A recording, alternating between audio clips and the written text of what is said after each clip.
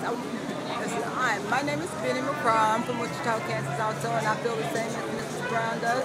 This is a tradition thing for me, something I could come and see and enjoy, have read about, to hear people talk about. And it's something new, and this is what I come here to look forward to doing.